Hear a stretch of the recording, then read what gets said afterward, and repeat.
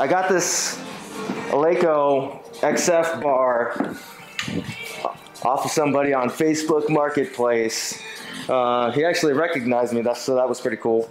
It was, it was really a steal, so I'm, I'm very happy about the, the deal that I got there. I got this bar for $250.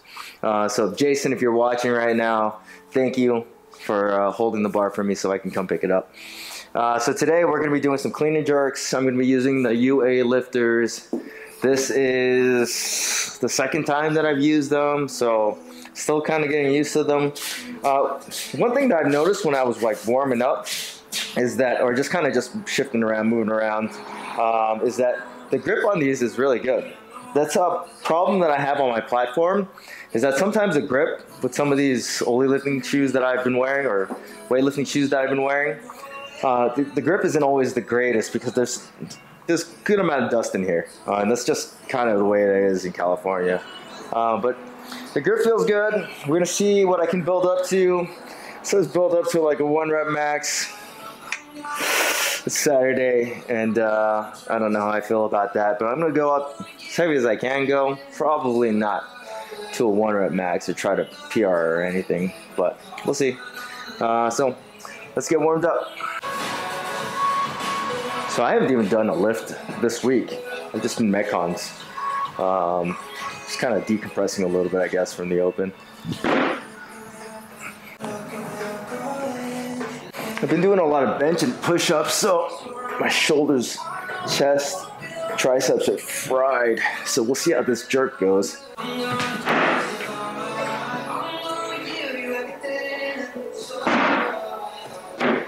Anyway, this bar it's one of the bars that I would have never picked up at full price. It's like almost 600 bucks, like 550. It's got two bearings in it. Uh, and I think that's just one per sleeve. Bushings. The only damage that's on this bar is that I think the way that he was storing it, he was just kind of storing it in the corner of his garage, standing up. So there's some chrome that's chipped off of this sleeve. But otherwise, the bar looks good. There's no real damage to it otherwise. It doesn't even look like he racked it. The knurling's still perfect. Uh, and the knurling on this is, it's a little bit lighter than normal Eleiko knurling, uh, but I like it. It's comfortable. I don't really actually like normal Eleiko knurling. It's usually too aggressive for me. This has the same kind of um, pattern, but it's not as deep. So it doesn't kind of have that same bite that normal Eleiko normally has. And then of course this has dual markings because it's a CrossFit bar.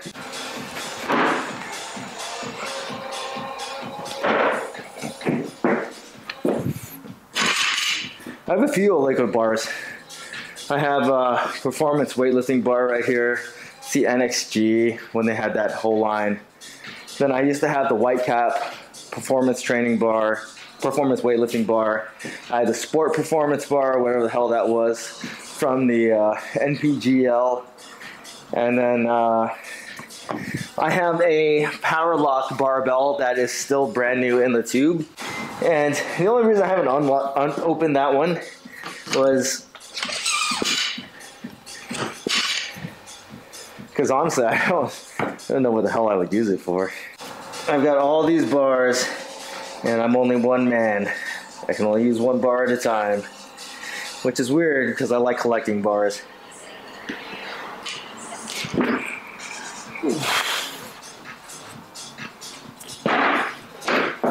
Is that a weird hobby, like collecting barbells? I don't know, if you ask my friends, they wouldn't say so.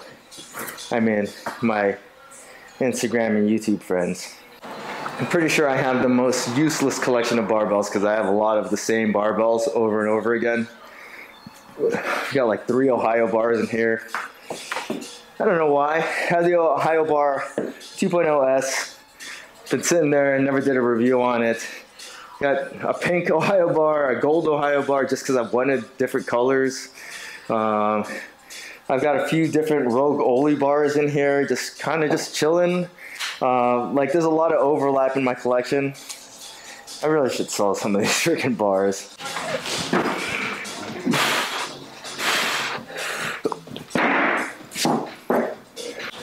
Bar's got a good amount of whip.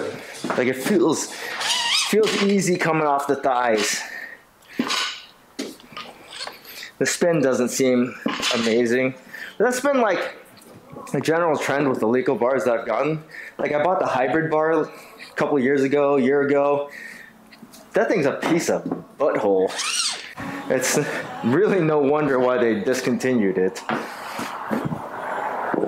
And they discontinued it really quick. Like, I think it was up for a few months and then it was gone.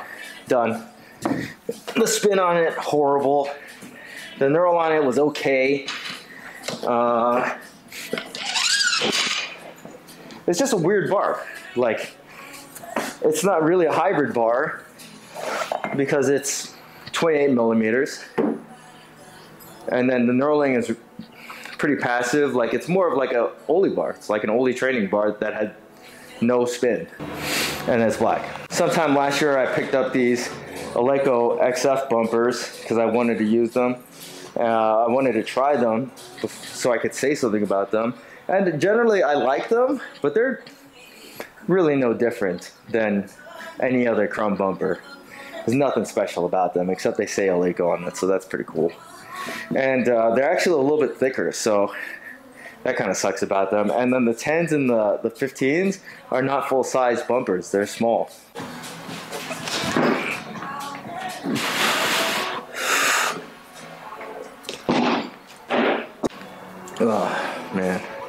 I'm not really moving that well today. I feel like I'm not really moving my feet when I clean. That jerk was not so good. Maybe I'll take it a little bit easier. So this is a 10 pound bumper plate from the XF. And the 15s are the same size as the 10s. It's still the same. It's nice when you just, you know, put it on the bar because it's just kind of easier to do that.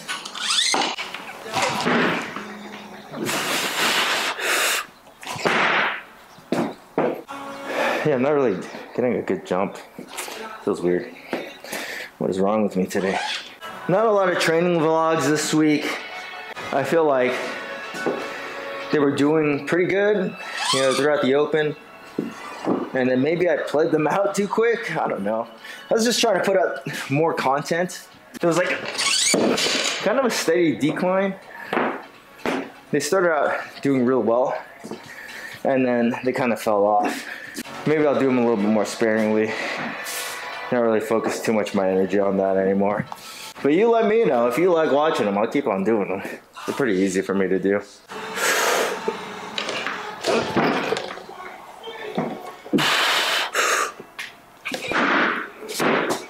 My clean was better that time, but my lockout, my jerk was ass on that. I gotta put two and two together. These shoes are still kind of a challenge to use. I feel like the ground feel, like they feel disconnected. My timing is kind of weird in these because I, I don't know, the timing is, because they feel disconnected, my timing gets thrown off by a split second when it really shouldn't be because like they're direct. They just don't feel direct. It's is like really weird. Okay, this will be a good one.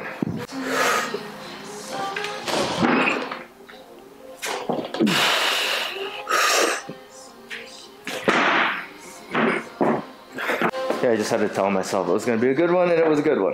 That was a pretty good one. I haven't been doing a lot of lifting in the garage, mainly because I've been trying to get myself into the gym. I feel like working out at the gym is a little bit more, a little bit better for me. Try a little bit harder at the gym, holds me more accountable.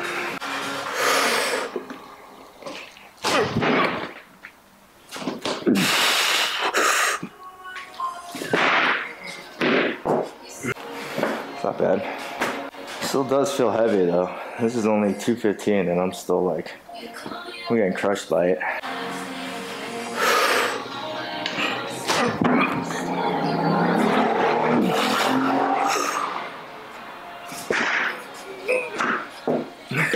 Okay, that was okay. That was not bad. I actually got under that jerk, so that was pretty good. Shoulder's a little wonky. I'm not too stoked about how the way I feel today, but It'd be like that sometimes. Could have just stayed inside and played the Diablo. That was a bad clean. Oh man, I hurt my shoulder a little bit. Try that again. Okay, one more shot.